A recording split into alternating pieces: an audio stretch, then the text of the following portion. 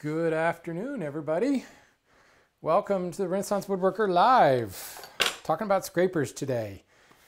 So, um, as people kind of file into the chat room, um, you guys want to give me a sound check. It looks good on my end, but I always like to double check before I get too involved in things and people start saying, we can't hear you.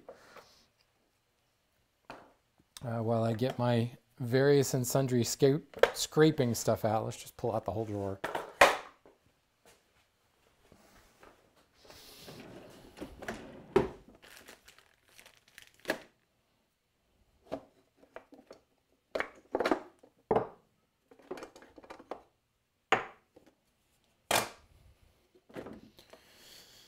Okay, I got I got a lot of sharpening stuff, folks. I've just accrued over the years, and as my sharpening system has kind of become optimized, if you will, I need to do like a sharpening media sale. I've got so many stones and various things floating around.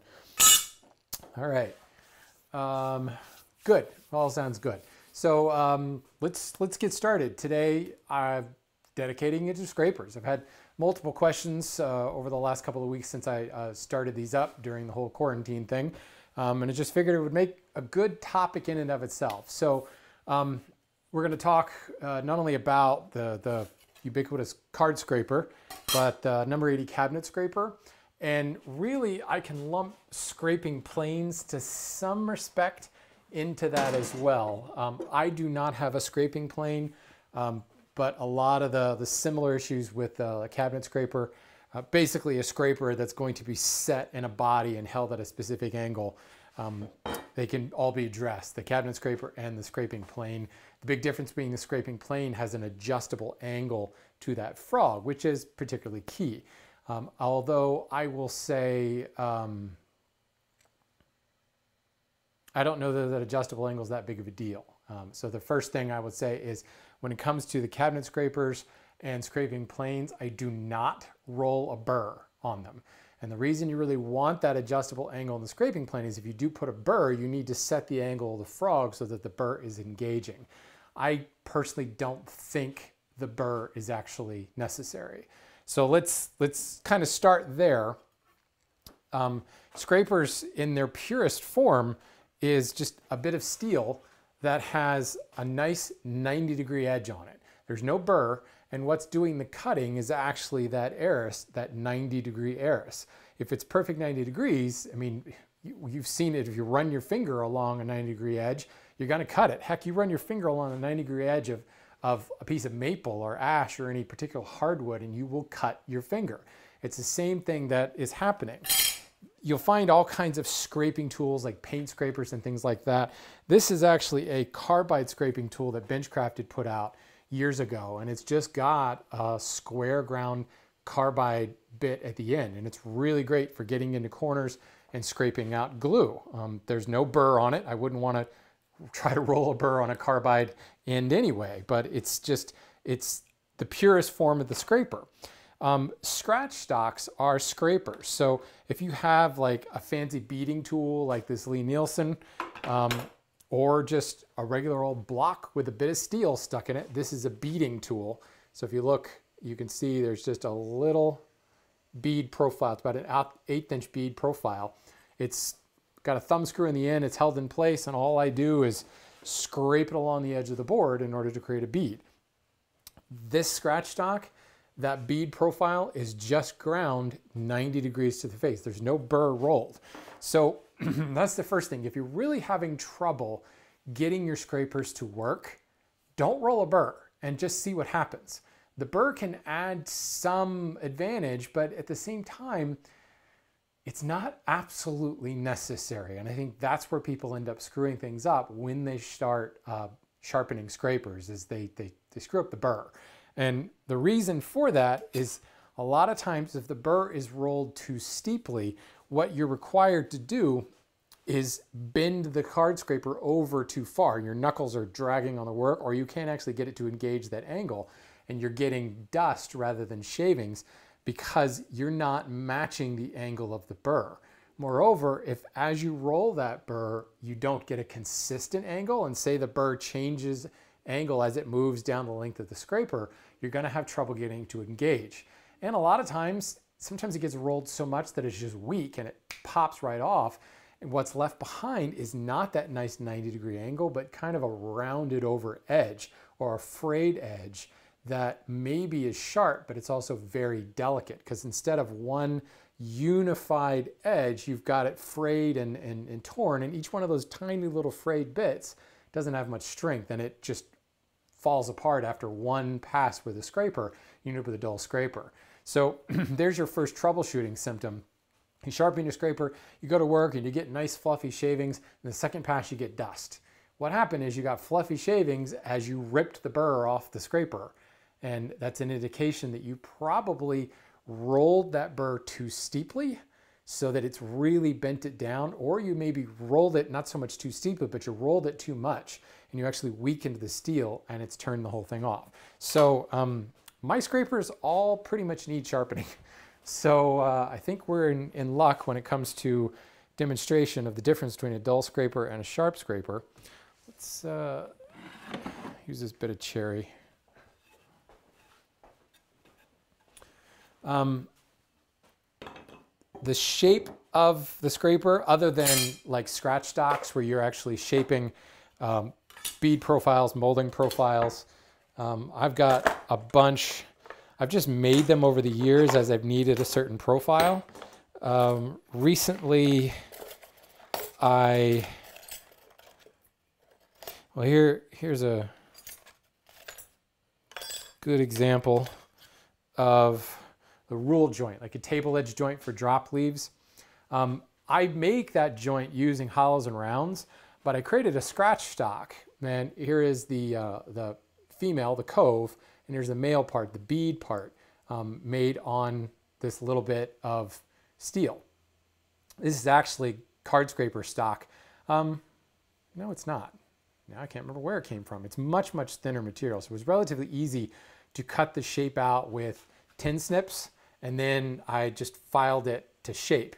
Um, and what, what I use this for, even though I create the profile with hollows and rounds, is this come back, comes back and refines it all and gives me one consistent shape. But here's an instance where rarely with a profile like this, I would not create the profile using the scratch stock. While I could, it would take a really long time and a lot of subsequent sharpenings because this is gonna heat up and dull relatively quickly. This is the type of thing that comes back and takes those last two or three passes just to kind of blend everything together, blend any facets that may have been created by a block plane or a rabbet plane or something like that. This can be great if you are sticking your, your moldings by hand and you just need that last little bit, almost like coming it over with sandpaper, but a little bit crisper lines to things. Um, scratch stocks can be quite ornate. Here's a reverse ogee quirk and bead profile. Uh, I was making a um, Chippendale frame mirror and I stuck that whole molding and I created this profile to match the molding just to come back and scrape it and unify it, but more importantly also to get some glue and things out at the miter joints. This was the perfect profile to come in and do that. And again, just a little bit of, I think I actually bought some scrap steel from um, McMaster-Carr years ago. I've got, yeah, here's little pieces of it just floating around. Here's another original, I think the original piece was probably about this long. Um, and all these little pieces just float around. They get cut off using tin snips and they stay around for any number of, of reasons and purposes. Um, needed uh, a larger bullnose pattern at one point. So I created that guy for it. So you just kind of keep these floating around in a drawer and keeping that material. If you ever um, run across a really old beater saw that you just can't restore. Maybe it's been filed down so much that it's really, really narrow, or you get that saw that's really thin down at the end. Sometimes you can lop the end off the saw back to a thicker part of the saw, resharpen the saw with just a shorter profile, and that last little bit that you cut off, it makes great card scraper on scratch stock material. So um, that that's the basic form is just this shaped with a file, shaped with rat tail files and things like that in order to create the profile you want. The key is getting that shaped right at 90 degrees across the face in order to get that perfect 90 degree arris. The rest of the time, and the stuff that really um, kind of flummoxes people is when we start dealing with burr and using a card scraper as like a finishing tool if you've got particularly uh, troublesome figured material or something like that. Um, card scraper can be really, really effective to help clean that up. And let's see, this one feels pretty dull. Um, this is just a typical square or rectangular card scraper. I've got a couple that have been ground to different shapes. This has curve and a little bit more radical curve on one end. Um, I've got, actually this one I didn't grind. This is from um, uh, Bearkat Toolworks. This thing, I love this thing. This is the perfect shape for hollows and all kinds of, well, I think, um, I think Brian actually uses this for scraping chair seats. Here's the, um, the gooseneck scraper, I use this one a lot for cove moldings and things.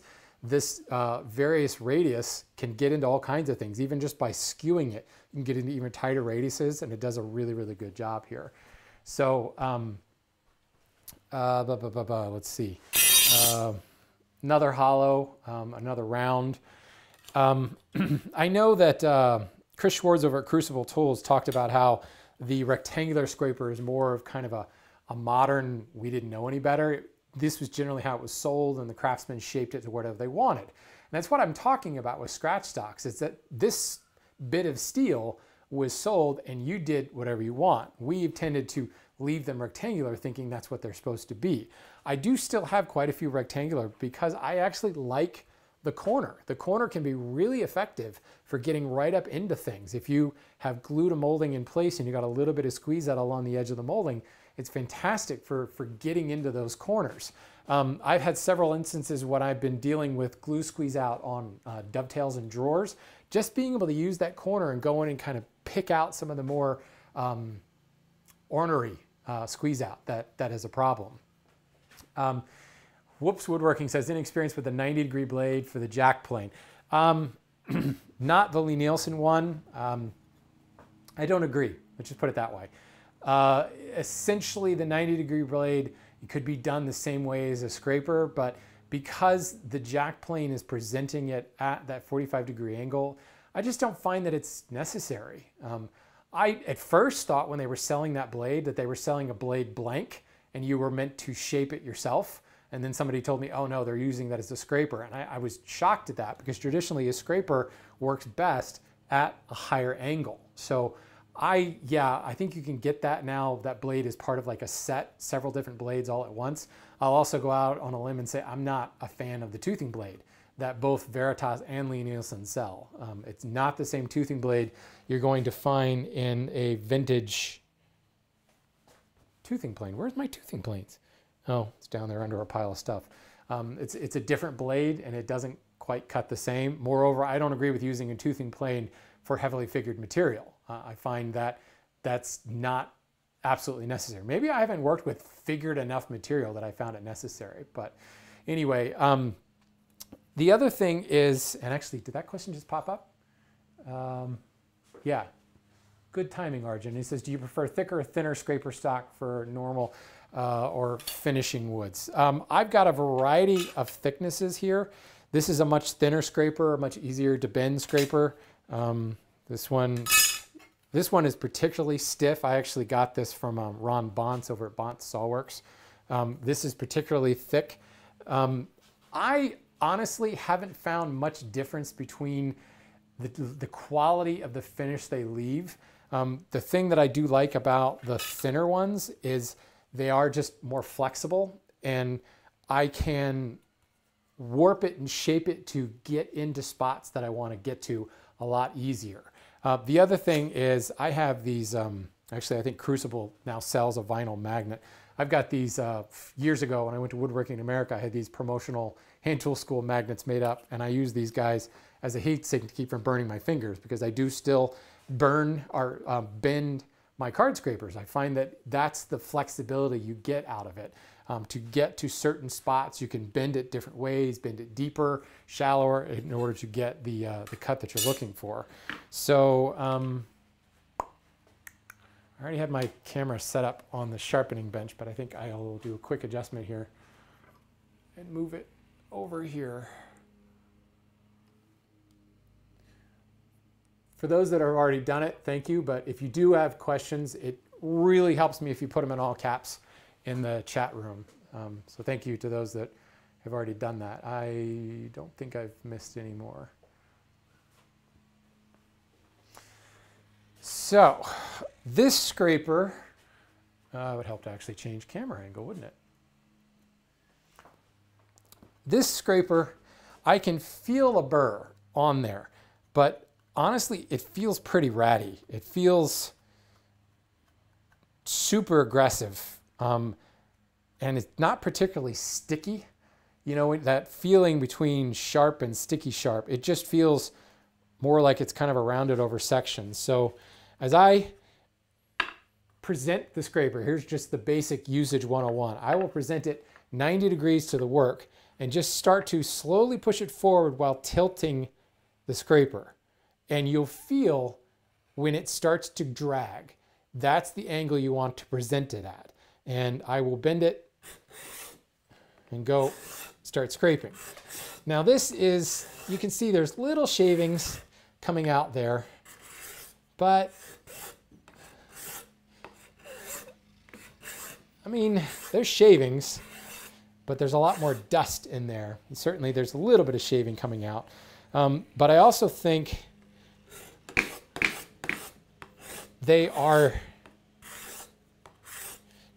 not quite producing the surface that I want. This scraper is just starting to turn, if you will. It's slightly overripe. Surface feels okay, but I mean, you can see the amount of dust that's being created there. If I think if I flip it over and go the other way, I'm gonna get even more dust. Yeah, like nothing but dust coming off that other edge. And here's the other thing. Don't forget these short edges. You can sharpen all the edges of a scraper because sometimes this edge can be really beneficial. So this one definitely needs to be trued up. I think this one may be about the same. Okay, this is a good example. Here, it's about the same level of, of sharpness, but the burr has been rolled too much. So let me come back to this first guy. So I'm dragging it forward, and there it's engaging, right at about this angle. I can very easily use it and not drag my fingers on the work.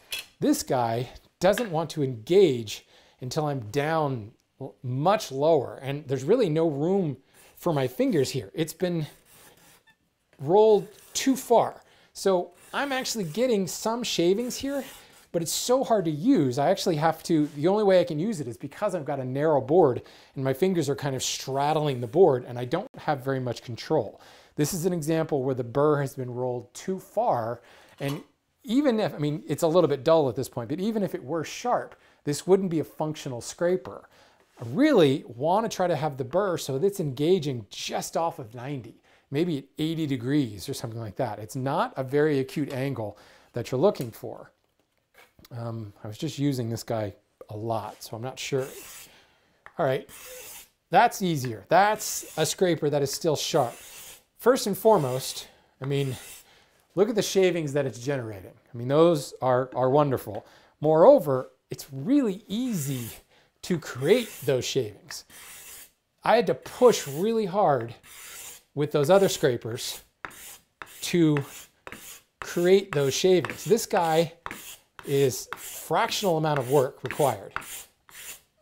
You'll also notice that because of that curved shape, you can see I'm getting these really thin shavings. I think, I feel like I sharpened this edge. This one, I'm still getting shavings, but I'm getting a little bit bigger shavings because I've got a larger edge. Here's the thing though, you still want to be bending these. You don't really want to be presenting the entire edge. The idea is not to use this like a plane and be getting the entire edge. If that's what you're really looking for, then you probably need to grab your smoothing plane. But there is most definitely a noticeable ease when you've got a sharp blade. And you'll notice there's very little dust. It's just all shaving coming off of this guy. And those shavings are lovely, light, and fluffy. So this one, this one's ready. You also notice the angle in which I'm presenting this is very near to vertical. There's vertical, and it's grabbing maybe 5, 10 degrees off that. And it's giving me shavings with very little effort. So that's what we're going for. That's what we're shooting for in a sharp scraper. So I'm gonna go over to the sharpening bench and, uh, oh, you know what, one more thing, because I know my card scraper is pretty dull at this point. So here's my card scraper. Um, I, by the way, I set these. I drop it down on a flat surface and I push the blade down until it makes contact and lock it in place. The projection, the depth of cut, is produced by turning the thumb screw. All right, well, maybe it's not that dull because you can see, uh, did I just sharpen this? Maybe I did and I forgot. Now I'm getting shavings, but I'm also getting thicker shavings than I got from that uh, Bearkat scraper. And now could be because I'm taking a thicker shaving, but this is harder work. I do have to push harder to make this cut but it's still cutting pretty well.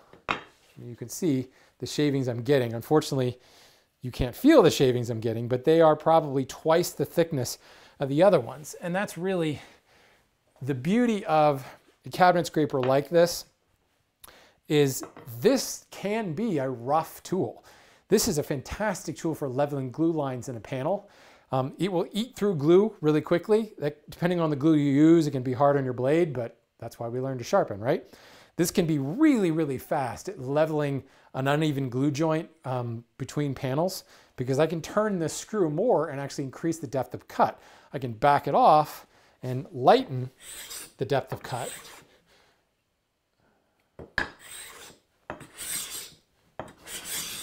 And get now a shaving that is about the same thickness as what I was dealing with with the regular card scraper.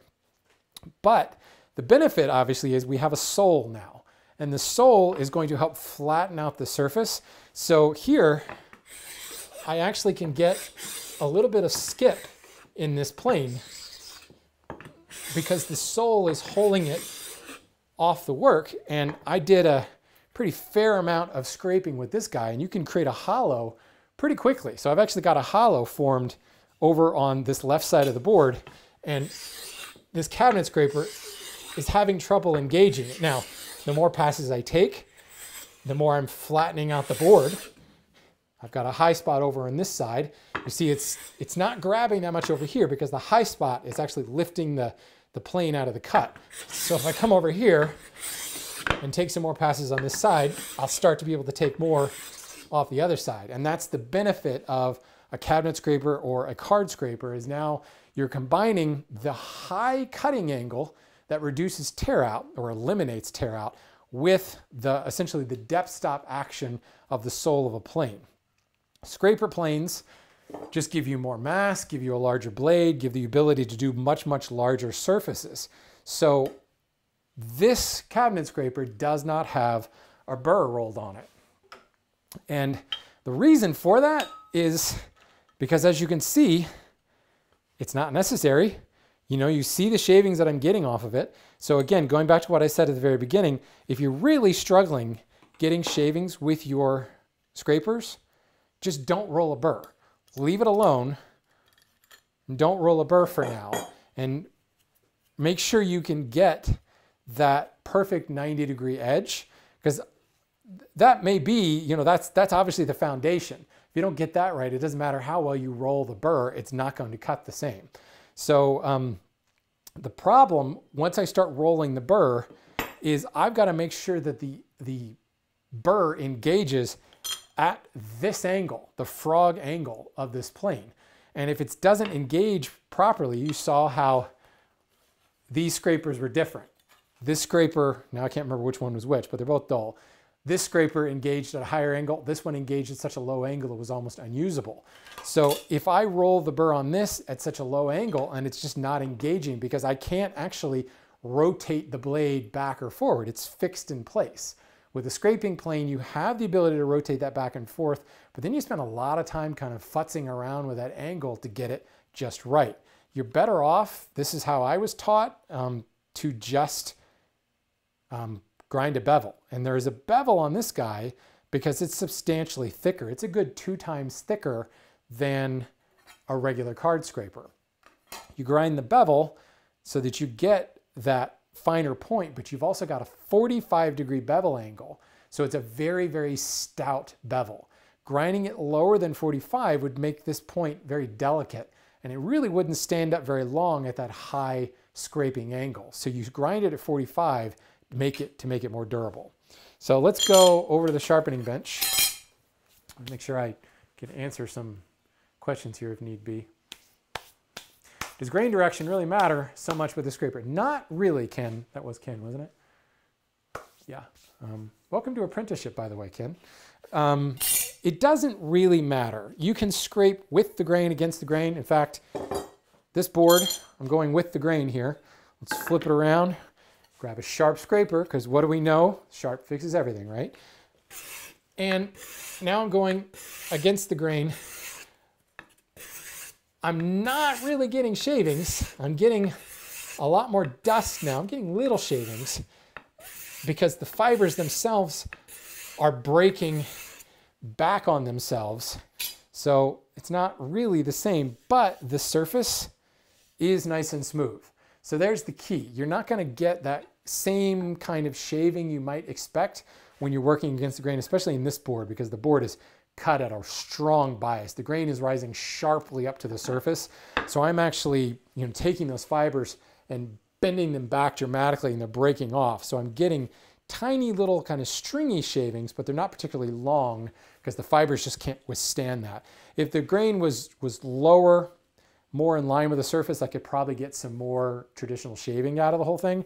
But again, I'm getting uh, you know, a nice smooth surface here working directly against the grain.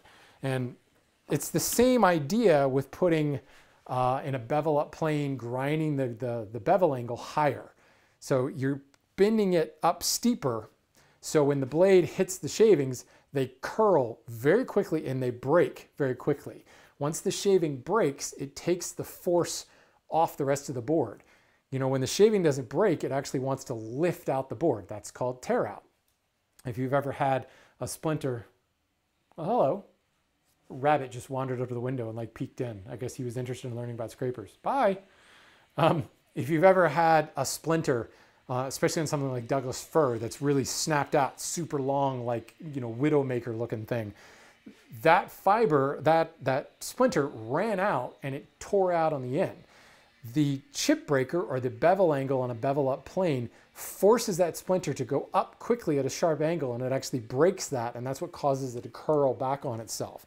So shavings are really just a series of broken grain curled back on itself. So advancing the chip breaker or changing the bevel angle on a bevel up plane, um, closing up the mouth so that you've got more pressure in front that's holding that, that chip down, preventing it from running out, prevents tear out. That's how we control tear out. This has no mouth. It has no bevel angle. Well, technically it does. It's 90 degree bevel angle. But because it's presented at a very high angle, you're forcing those chips to curl up immediately back on themselves and it does not tear out. Um, it's just, it's kind of the 101 of hand planing. So you can deal with all kinds of weird, gnarly grain uh, in any, any number of different boards, figure, species, etc., with a scraper. So I'll admit, I think this angle is going to work for us. I'm trying to get an angle that's enough off my shoulder so you guys can see what I'm doing while not blocking the shot. And without pulling out my 100 foot HDMI cable. I've got a nice six foot HDMI cable, which is not long enough to reach over to the sharpening bench, and then a 100 foot HDMI cable, which is it just a royal pain to have around.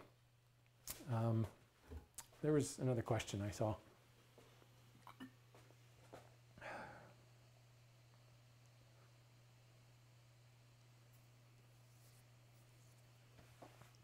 How do you properly strike a scraper with a mallet when cutting half-blind miter dovetails? Uh, you mean one of these guys? These kerf maker guys? I wouldn't call that a scraper at all, although technically I guess it is the same type of stock, but this is not sharp. This is not sharp at all. In fact, you'll feel that this is slightly rounded over. Um, I don't know that there's a proper way to strike it. You put it in the kerf and you tap it in until it bottoms out in the bottom of the kerf. I mean, you put the, the, the scraper in the same way the saw went in and tap it down. Um, but you've got to take little bites or you worry about actually splitting the wood apart. What are your thoughts on the Lie-Nielsen cabinet scraper? Um, is it any different than like a Stanley number 80 or the Veritas one I have? I don't think it's any different at all.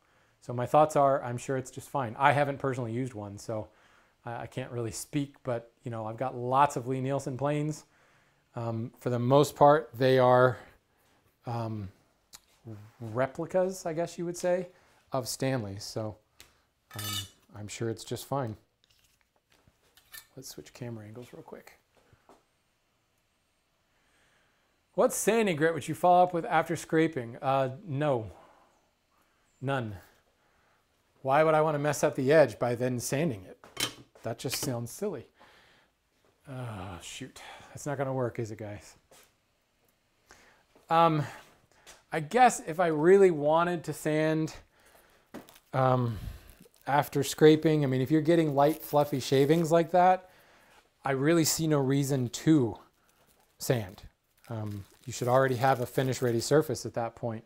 Um, and all sanding is going to do is actually muddy the surface like substantially muddy the surface because it is um, the scraper pardon me as I'm off camera here I'm just rigging up a longer cable um, the scraper is creating slight undulations so the little bit of scraping that I just did on this board I don't know if the light will pick it up but you can see see that strip right there right there, right there, right there. Those are little scallops. Very, I mean, I can't even really feel them as I run my fingers across, but you can see that's where shaving came up. Now, if I come back with like a hard sanding pad or a hard random orbital sander and sand this, it's going to not hit the entire surface. So you're gonna end up having to sand those out and do substantially more sanding in order to get a, a relatively, to get a flat surface. The, the sanding platen is going to want to create that flat surface. And you have just created an unflat surface using a card scraper. Um, the surface should be perfectly clean and finish ready. So there should be no need to come back with sandpaper. I suppose if I had to, you know, if I just had something that just would not agree with me, just could not get it cleaned up, then what I would do is start with 180 maybe, maybe 220. Um, I just don't think I would want to go below probably 180 or it would just end up messing up the surface too much. Does that make sense? The bigger issue is not, you know, is it a finish ready surface, but you're completely changing your method of, of surface prep. You're changing from a blade that's cutting the grain to an abrasive that is essentially shredding the grain. Um, sanding abrades the surface and creates all kinds of tiny little tears in the surface. And that's why, you know, we talk about raising the grain when you sand. You put that first coat of finish on and all those little torn fibers stand up on end because they, they've filled up with moisture. Then you have to come back and knock back that raised grain. The reason the grain doesn't raise when you hand plane a surface is you're creating one sheet, not tiny little tears in the surface because you've abraded it. You've cut it off in one sheet. And those, you, you, know, when you put water on that, there's no little torn fingers to stand up. It's the entire surface is uniform. So I've changed from that blade cutting action to an abrasive action, and that's going to cause, um, it actually may like make the surface look worse, and it may look mottled under finish at that point. So I avoid sandpaper at all costs. Um, I just, I don't use the stuff very much because I can get a better quality finish off of a hand plane or a card scraper. All right, I think this will work a lot better. There's a reason to have a third camera for this kind of setup.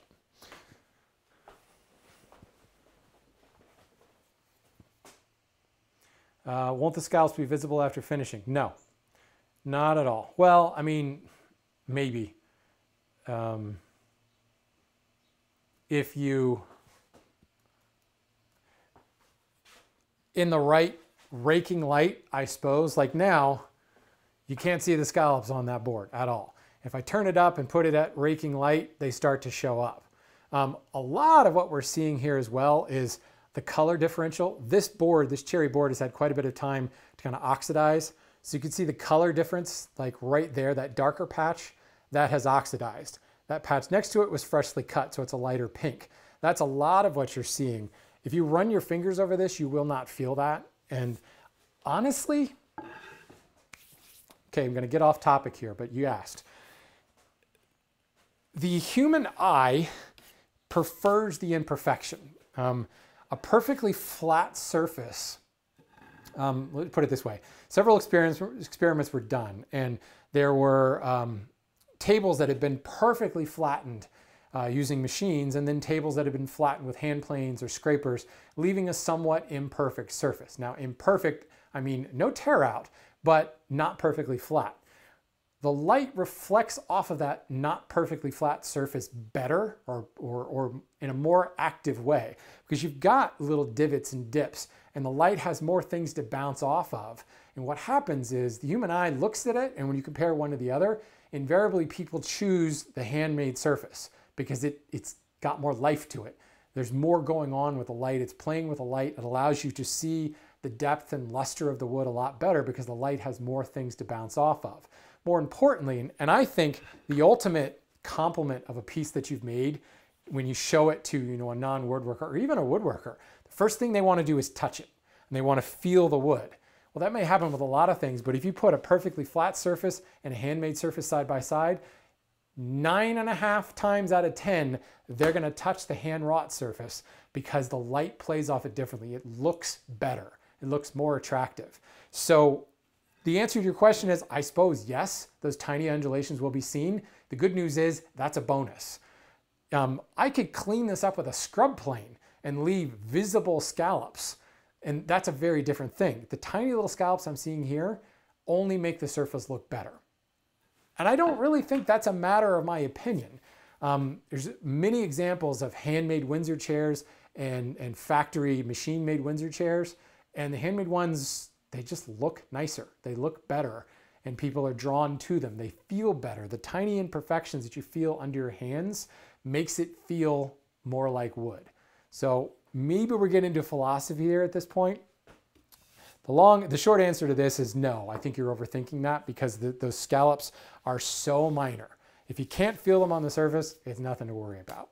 So yeah, there's my, uh, my preach.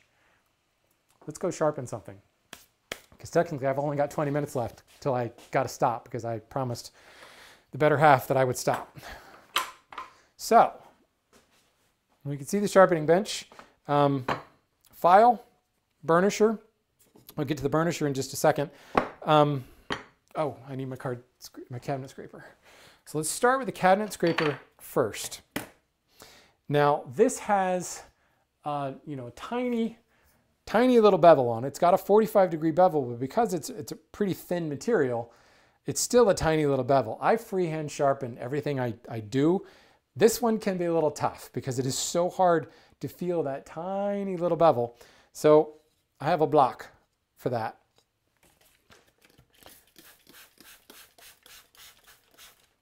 And just happens to be a block of teak, doesn't have to be teak, but I can then roll it down this block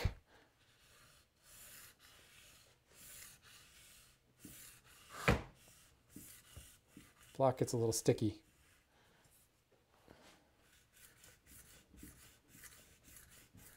The good news is because it is such a tiny, whoops, sorry. Because it is such a tiny edge, it does not take a whole lot to clean up that surface. Let me change that setting so that, there we go, that's better.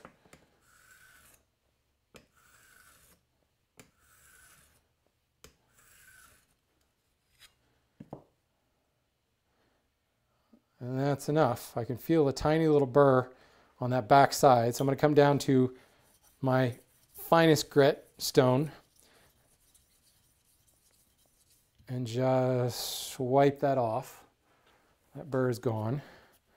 And so this is sharpened exactly the same way that I would sharpen a plane blade or a chisel. It's got a bevel. I'm sharpening until I feel a burr. And then I'm swiping off the burr. And I call it done. Using this block, it's just the same thing as using a honing guide, but I find that a lot of honing guides can't match this steeper 45 degree angle. And there's the burr that I'm looking for. So now I will wipe that off.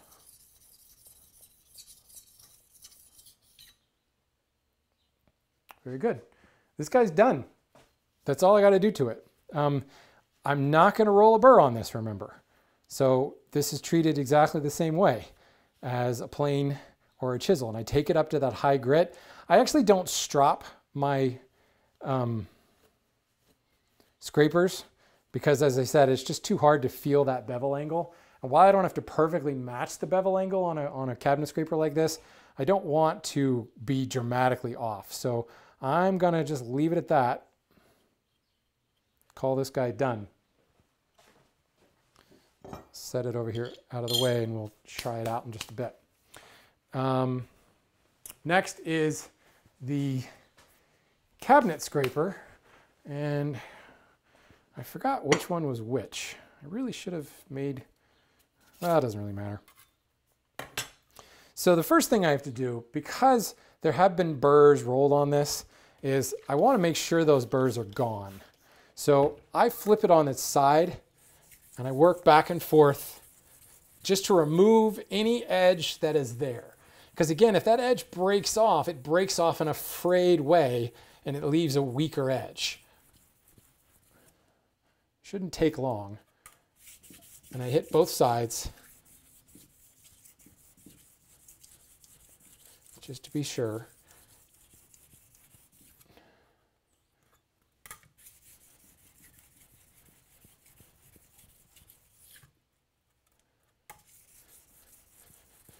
By the way, this is what happens if you leave one of those little vinyl magnets on like for years at a time, it stains. it's not the end of the world, but if you want to keep your card scrapers pristine and lovely,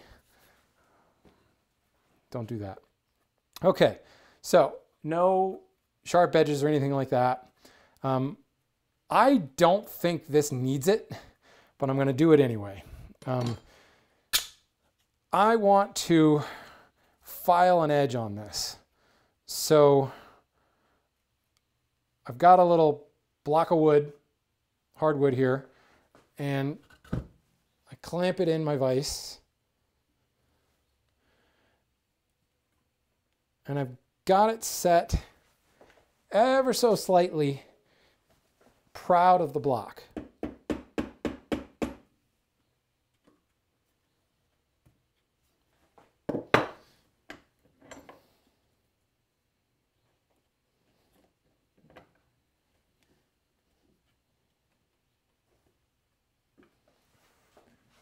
So the block is my guide.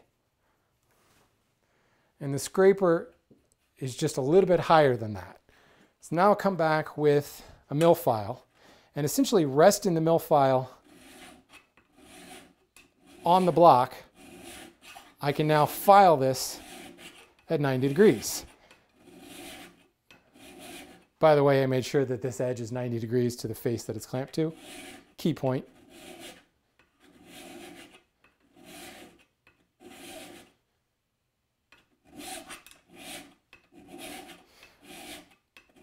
And again, this is kind of the major surgery. This is like going back to the grinding wheel and a chisel. I don't do this very often, but if you're really struggling with your scrapers, it's a good idea to come back and reestablish the edge.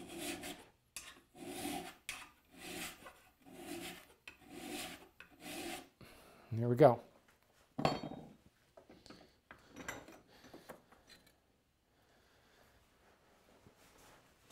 I'm just going to make a little mark on this because there's not going to be time to sharpen all of the edges. So I'm just going to make a mark saying which edge I just did.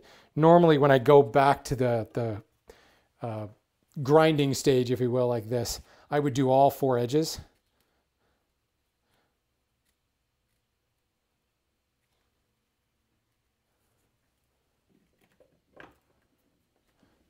It's actually the sole reason that I have this vise on this, um, this bench. It's the whole reason it's there.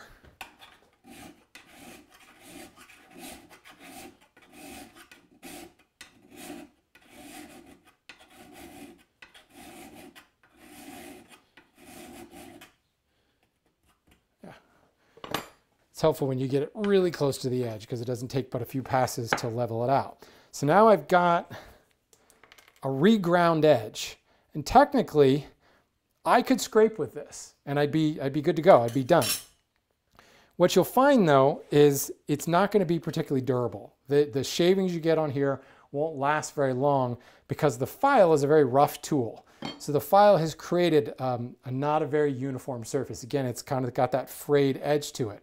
So it will cut at 90 degrees, but where you're going to really find success is actually refining that edge.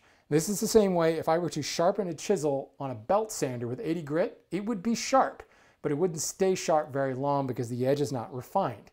If I take that chisel and work it up through the grits and work up to 8,000 grit, I'm going to have an edge that's going to cut better, cut cleaner, and last longer because instead of a bunch of little frayed edges out here, it's going to be a uniform edge that will dull, well, uniformly.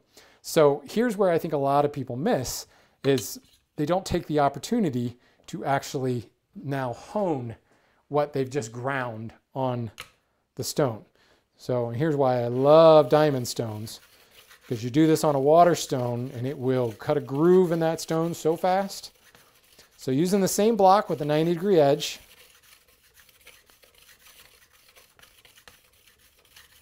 I can hone that. And again, because the edge is so tiny, it doesn't take very long.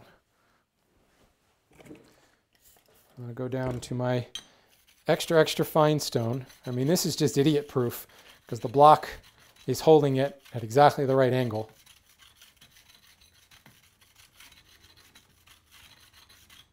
Now, there's no burr that I'm looking for here, but I am looking for a uniform scratch pattern. I can shine it and get the little reflection of the light. And what I want to do is kind of rotate my wrist back and forth and just kind of roll that reflection down the edge and back. And you'll be able to see if there's any oddities. The scratch pattern created by this coarser stone is going to be different than the scratch pattern on this finer stone. And it will actually pop out. It'll look like a dull spot in the edge. And this is, is uniform shininess the whole length. Um, yeah, let me go ahead and hone this one too. I thought maybe we'd show what it looked like if it was, just hone both of them. Like I said, you don't have to hone it, but you'll be back sharpening again a lot faster if you don't hone it. And if you find that you're getting shavings, but the surface feels kind of rough, the surface doesn't have that smooth, plain, finish ready feel to it, it's because the quality of the edge, i.e. you didn't hone the edge, is lesser. Um, so you can still get shavings, but end up with a surface that isn't particularly pretty. I had to unplug my camera here, so it keeps wanting to auto shut off on me.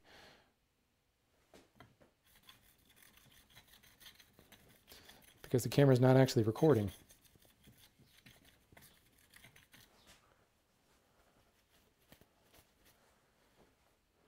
Shine the light on there. Okay, I've got a little dull spot right there where I haven't ground it all the way.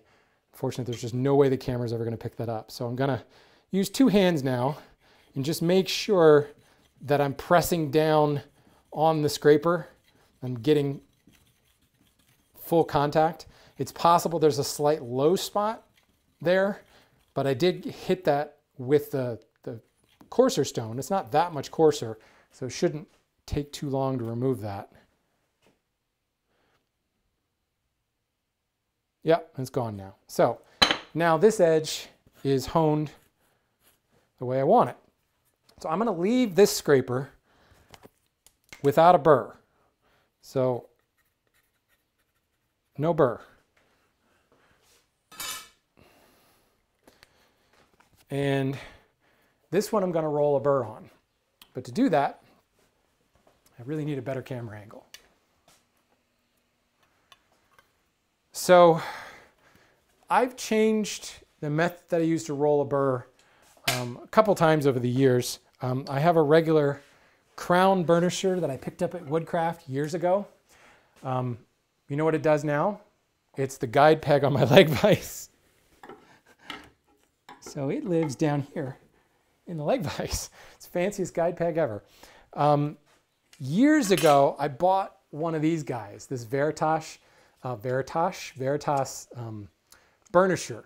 Now here is an example where because you can repeatedly set an exact angle on this burnisher where you could possibly think about adding a burr to your cabinet scraper or your scraping plane because dialing in this angle will tell you what angle to set your scraping plane frog or the angle of your cabinet scraper. Um, you can set the burr, set the angle here and make sure that that burr is always grounded the same angle.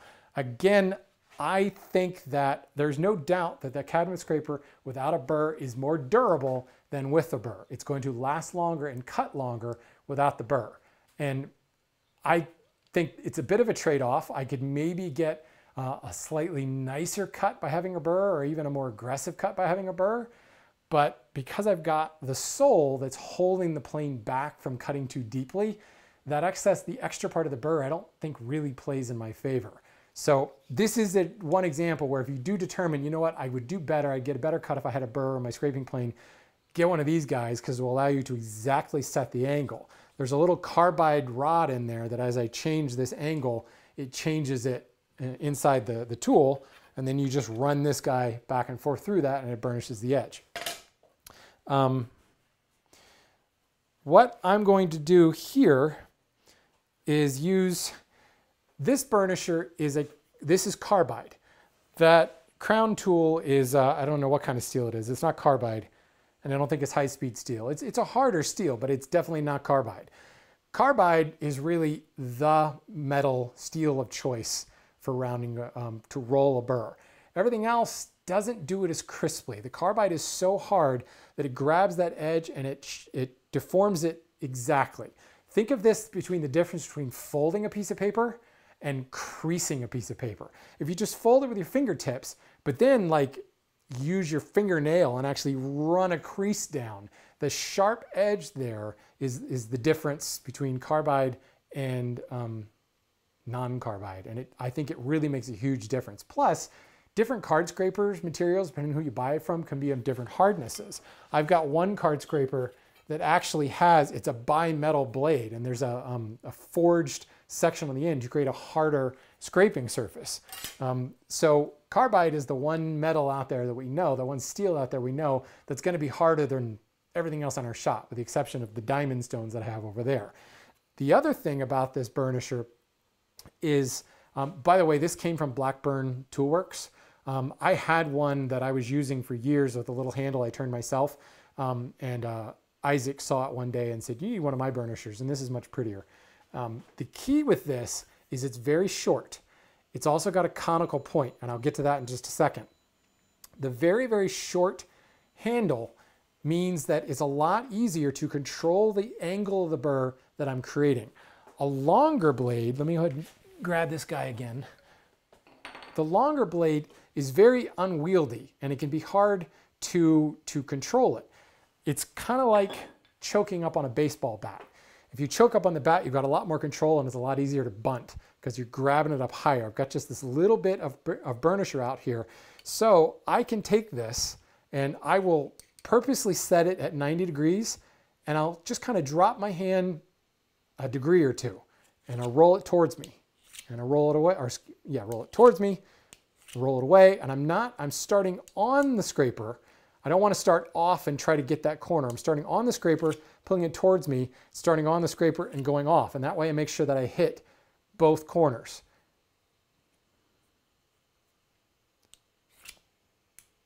There's a fair amount of pressure down here. And there we go. That's what I want. I can feel the scraper edge and my finger wants to catch on it. It's sticky sharp and doesn't want, I have to kind of exert more force to pull it off the edge. That's all that I want to do there. If I run it very, very lightly, I actually don't, if you've never done this before, if I run my finger along the edge, I can feel one consistent burr there. No little bumps or anything. Moreover, if your finger catches, I'm practically no pressure at all. If your finger catches here, that shows an interruption in the burr, a little frayed edge or a broken part of the burr that could cause weakness. I can feel that it's uniform along the entire edge, which means the entire edge is folded over, so it's much, much stronger. So there is my burr. It's the way I want it. This guy, remember, does not have a burr.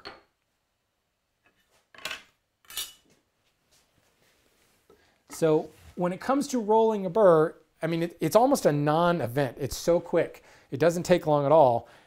The biggest key is the short handle. The next key would be carbide. Um, carbide is not absolutely necessary, but the shorter handle helps. Now what I'm going to do is test this and see how I like it. I don't think, you know what, I'm going to do one thing. Here is the,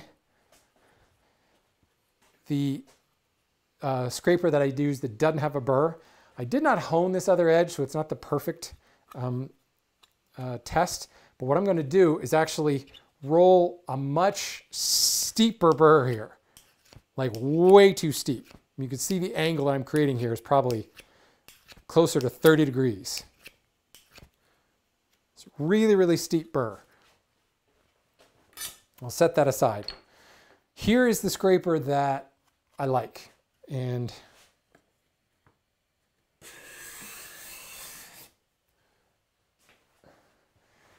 big fluffy shavings and very little effort. Remember I talked about how easy it was to use this rounded scraper?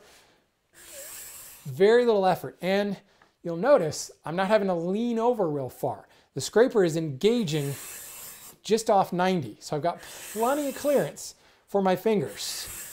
And I'm getting lovely shavings. And the board absolutely feels like glass. So I'm getting those lovely fluffy shavings.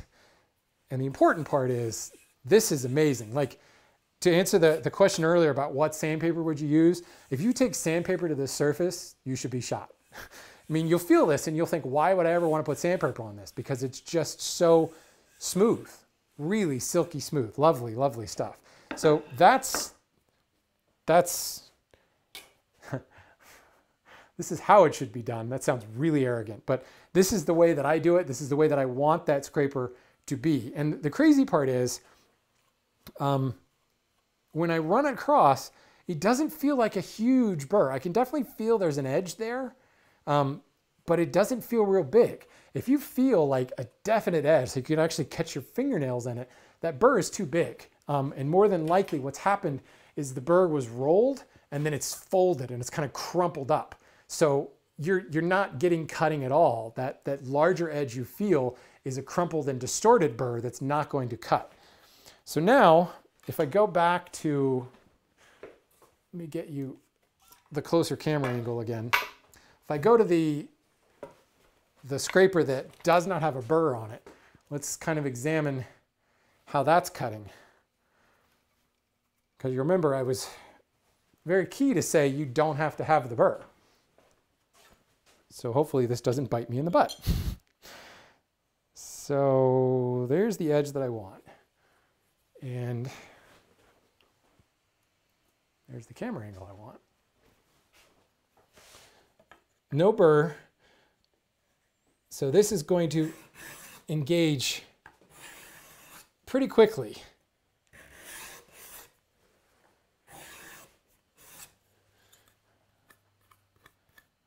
Oh, whoops, that's the wrong edge. Where's my arrow? Oh, there's the arrow.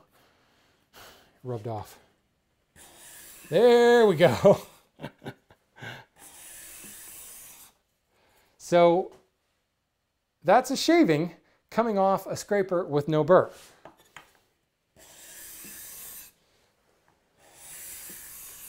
It's easy. You know, I'm not having to press real hard. The angle of attack is high. It's actually a little bit higher than the other one. But you can see the light fluffy shavings I'm getting. Um, let's set those right there.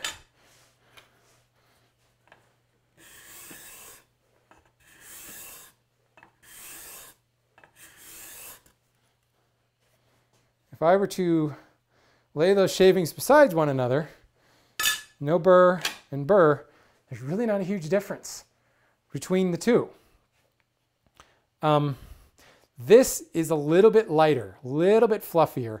This is a little bit thicker. You can see how this has rolled up and it's actually a more, um, the shaving itself is holding together a little better because it is a little bit thicker. This just kind of falls apart because it's so light. So maybe this is half a thou and this is a thousandth of an inch thick. I mean, it's, it's a minor difference. But again, if you continually find yourself struggling with rolling a burr, skip it. It works. Um, you know, I honestly don't know what the durability is like. To me, it seems like the no burr would be more durable than the one with a burr because that burr is just hanging out there. It's more delicate and it's going to deform over time. And when it does deform, you get that more visible or that more tactile feeling burr that just doesn't cut at all. So maybe you just skip the burr altogether. Um, you never know. I, I do think that there can be some merits to it, but if you are struggling with it, skip it. So now I'm going to slide this guy back in. And again, I set the cabinet scraper down on a flat surface and just let it bottom out. Tighten it up by hand and then come back and really cinch it down.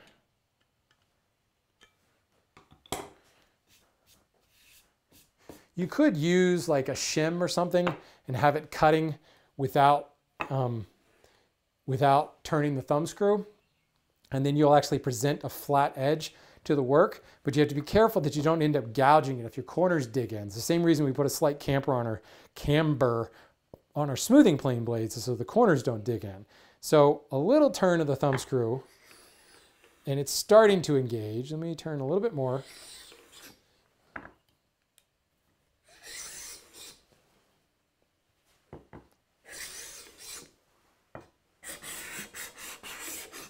Here we go. And again, I just did a whole bunch of scraping freehand, so I don't have a perfectly flat surface. This is wanting to create a perfectly flat surface at less than thousands of an inch um, tolerance here. So it took, you can see it's now starting to give me shavings. It took a couple of passes to do that in order to flatten out the little kind of localized scallops I was creating just by working with the, the card scraper. But now, again, no burr at all, and I'm creating light, fluffy shavings. Same effect as the card scraper, although one could certainly make an argument that this is a lot more user-friendly. Dang it, I gotta really plug that camera in. The cabinet scraper, because it's got big handles, because it's got a sole on it, the whole thing ends up being so much easier to handle, to use, to create a, a tear-out free surface. You just recognize that because it does have a sole, um, you might have to take a couple of passes in order to level out any localized scraping that you did with a card scraper. So my regimen, if I have tear on a surface, I will hit it with a card scraper really localized, like within you know one square inch to remove that. And then I'll come back with a smoothing plane or a cabinet scraper, and I will find that I'm skipping over that spot where I used the card scraper because I hollowed it out. Some instances that's fine because the hollow is not noticeable. Other instances, it just means that I'm gonna make more passes with the plane in order to level everything back down to normal. But if, if you carry nothing away from this presentation is that the burr in some respects is overrated. Um, you saw the difference in results from one with a burr and one without a burr. Oh, um, sorry, there was one thing that I wanted to show. If you roll a burr too far, the burr is fine, the burr cuts fine, but you have to really turn your hands down too far to get it to engage and it becomes unusable. You can use a burnisher like this with a conical tip and I can get that tip to kind of slot into the burr. And actually, I find it's easier if I pull it towards me. If I nestle the bevel of this cone against the body of the scraper, and I drop it in there and pull back, I'm actually deforming that burr and bending it back up. And because I'm rubbing the bevel, I'm bending that burr back up at a set angle. And I want to say that's a 45 degree angle. I'm not exactly sure, but I'm making that burr uniform. So the conical point can be really beneficial for troubleshooting. Um, if you specifically turn the burr very shallow to begin with, you're good to go. But if you found that it's been turned down or it's deformed in use, this can be a way to actually correct the burr before going back to the stone, assuming you have a conical point on the end, which is again why this is a nice burnisher to have, but that's why it comes to a point like that. Um, uh, who is it? Uh, Phil Lowe actually talks about this quite a bit. He had an article in Popular Woodworking or Fine Woodworking years ago. And he, I think, does that on every single time he sharpens just to unify. Um, maybe it's because I do a lot of freehand work. I find that I can pretty much keep a consistent angle as I roll it across. But if you have trouble with that and you, that angle is not consistent, just roll the burr and then come back and unify the whole thing with the conical point. Um, that can be really, really beneficial. So, uh, any questions here? Uh, the larger diamond stone that I use, that's the DMT uh, Magna base system.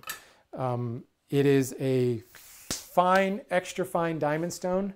It's double-sided, and then the one on the ground is an extra, extra fine stone.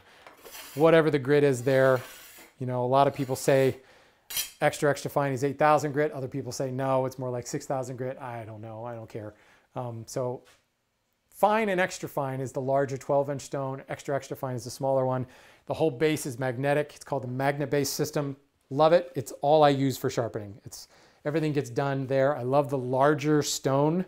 Um, lots of surface to work on. Very, very nice. I picked it up at Tools for Working Wood. It's available a couple different places. Um,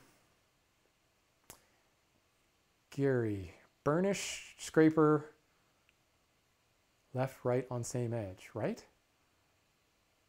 I'm sorry, Gary, I'm not sure what you're saying. Burnish left, right on the same edge, right?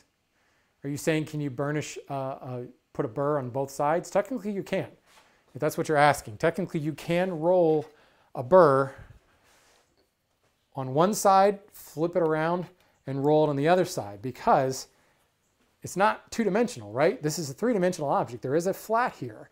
And what we're doing is rolling the corner on one side, rolling the corner on the other side. If I was gonna do a full sharpen of the scraper plane, if I wasn't pressed for time, I would sharpen all eight edges. So I've got four sides to this rectangle and four sides to that rectangle. So there are eight cutting edges here to, to do. And it's a really good idea to do all of them and then one of the great things, in addition to um, the magnet providing a heat sink, is it provides some directionality to the scraper. So you know, while the magnet's on this side, I'm cutting on this face. So as things start to dull, I flip it over and keep cutting on that face. If that starts to dull, I flip it around, change the magnet to the other side, and I can continue cutting on this scraper with four edges, and technically four more edges if I use the short sides. Do you find your hands hurt after scraping a larger piece? Um, I would not use a card scraper to scrape a dining table. Um, that is where if you're scraping, a scraping plane comes into bay. Yes, my hands would probably hurt if I tried to scrape an entire 60 inch long dining table, but that's called choosing the right tool for the job. To me, I would much rather use a smoothing plane for that. If I have such nasty figure that the smoothing plane won't work, that's the day that I will go out and buy a scraping plane. I don't have a scraping plane because I've never been faced with that situation yet. My personal taste, I don't actually use a lot of figured wood. I kind of like straight grain wood more than anything else. Yes, Gary, we were on the same page. Eight burrs per card. Uh, Darth Dweeb, nice name. Can I get good results with the crown burnisher? Um, you can, you can. The best thing you want to do if you use the crown burnisher is not grab it by the handle. Or I suppose, I don't, again, don't know what kind of steel this is, whether or not you could hacksaw it, but what I would do is choke up on it. Get to within like two inches of the end and then roll it. You're gonna feel the difference. If I hold it way out here, this is really unsteady and it's really hard to, to, to grind, to, to roll a consistent burr. You feel really exposed. I suppose you could hold it by the handle, but then grip the, put the scraper like right in close. Personally, I find that this handle, first of all, the handle's too long, the handle's too big, it's just heavy. So even if I roll it in close, this still is too weighty, it's too heavy as compared to the very light, delicate deal here. I mean, this handle is substantially longer and quite a bit thicker, and it's just the balance is off. So what I would do is grab it like real close, maybe even